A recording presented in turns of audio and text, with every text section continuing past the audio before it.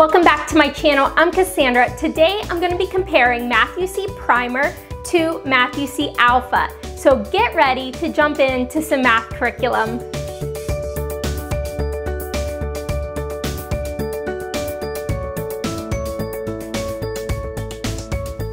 If you're new to Math U-See, go ahead and click the link that I have below of my review of the program.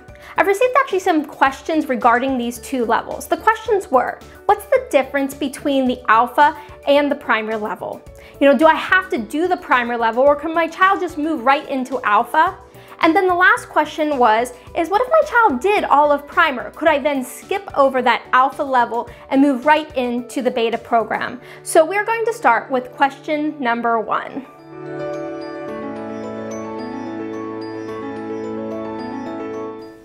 All right, the first thing to understand is Math U-See is a mastery style program.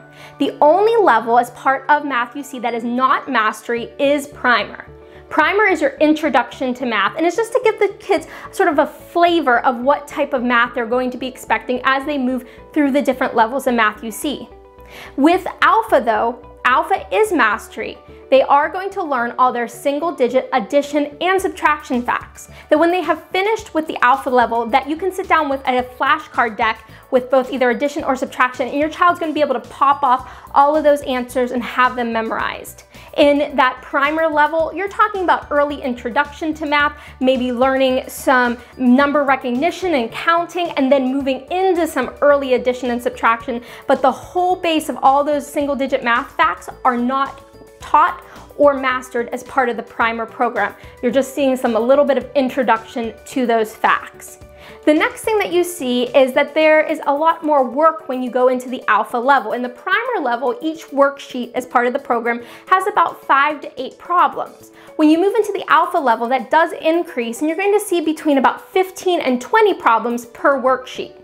The next thing is just the font size. If you look at the workbook for that primer level, the font for those problems are quite large, and then the images for the blocks, the child's actually able to overlay their block right onto the paper, and it's almost like fitting a puzzle piece. And the kid in the primer level is able to sort of fit that puzzle piece, see how the blocks fit, and see how those math problems work together right on their worksheet.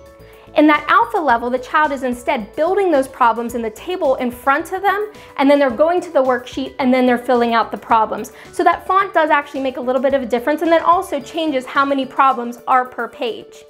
In the alpha level and all the levels up, there are testing because it's a mastery program. So you're going to see a test after each individual lesson as well as unit tests and final tests. There's actually no testing in the primer level. Again, that light introduction, fun introduction of these math concepts. The final is just the amount of material. You're gonna see in alpha so much more material that is covered, especially with those individual math facts, versus in that primer level, you do spend a beginning part of the program just simply learning number recognition, how to write your numbers, how to count before you even move into place value. So it moves at a much slower pace. It's a fun program, definitely something great for your kindergarten level student versus what you see in alpha is more designed something for more like a first grader.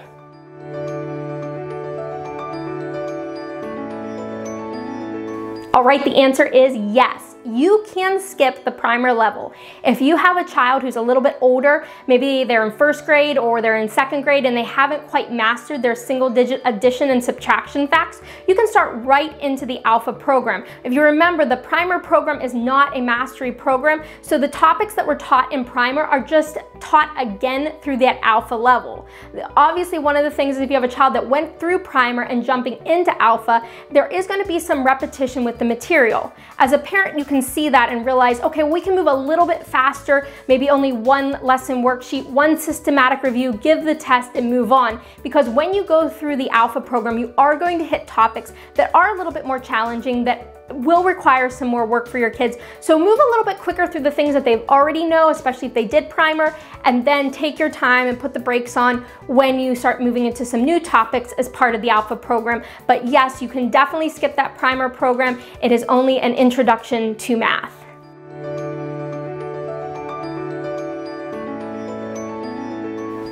The answer is no, you do not want to skip the alpha program if you're coming from primer.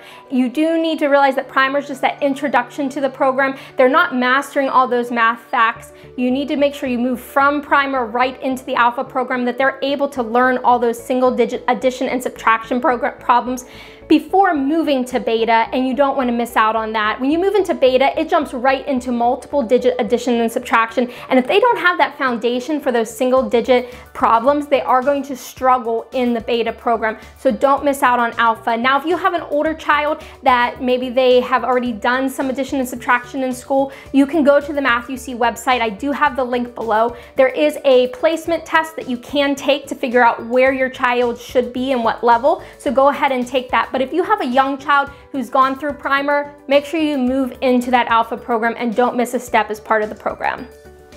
So if you had questions about the primer program and the alpha program, hopefully those answers help you out. If you have any other questions, go ahead and leave your comments below. I would love to be able to answer your questions. And before you leave, make sure to hit that like button, hit that subscribe, and I will talk to you soon. Goodbye.